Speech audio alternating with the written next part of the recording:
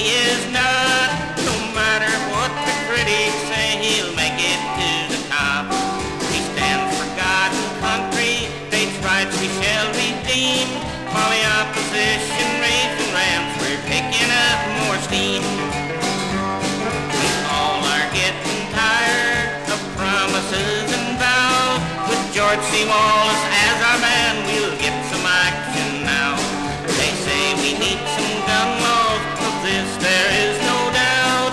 But let's enforce the laws we have and demonstrations stop. If you're a real American, as I'm sure you want to be, let's stand up for America and keep our country free. Remember now, this is your choice. Tomorrow may be too late. That's all you know.